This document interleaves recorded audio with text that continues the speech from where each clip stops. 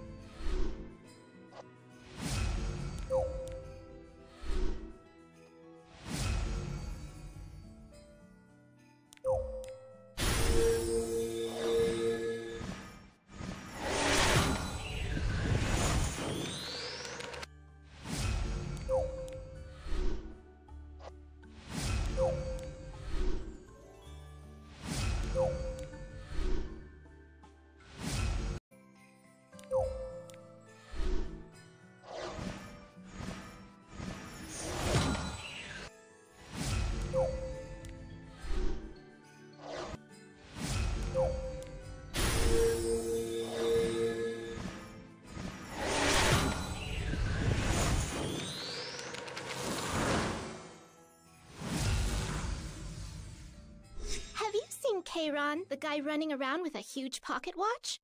Oh, wait a second. Where am I?